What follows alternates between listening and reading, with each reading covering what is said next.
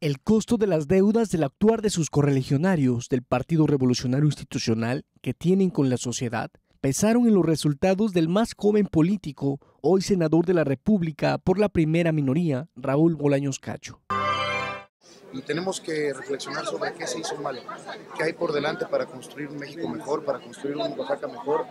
A mí me entusiasma mucho poder tener el alto honor de representar a Oaxaca desde la más alta tribuna de nuestro país. Bolaños Cacho Cue justificó la ausencia de los dirigentes del Partido Revolucionario Institucional en la entrega de la constancia que lo acredita como senador de la República, que le fue entregada hace apenas unos días, argumentando que este no era un momento de celebración, sino de reflexión profunda de lo sucedido.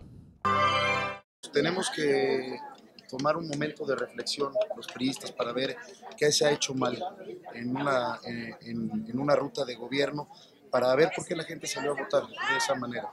¿Qué sigue para nosotros? Reconciliación, unidad al interior del partido, unidad con las fuerzas políticas que nos llevaron en esta coalición al Senado de la República, pero sobre todo hacer equipo también con el nuevo gobierno y con los senadores Salomón y Susana Raúl Bolaños Cacho Cue logró colarse por la primera minoría en el Senado de la República, luego de la jornada del 2 de julio, y representar al Partido Revolucionario Institucional PRI, luego de obtener el 22.85% de la votación con un total de 438.077 votos contra 1.088.347 votos que tuvieron los candidatos de Morena.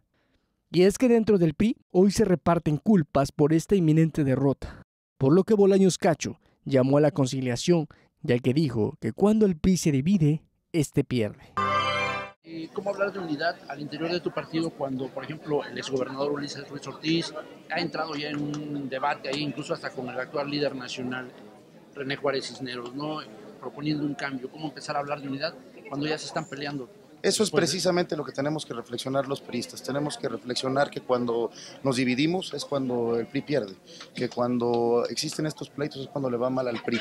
Por eso este llamado a la unidad y a la reflexión debe de tomarse con la cabeza fría, se debe de tomar en un ejercicio de responsabilidad y de autocrítica, que podamos juntos en unidad volver a, a ser al PRI el gran partido que es.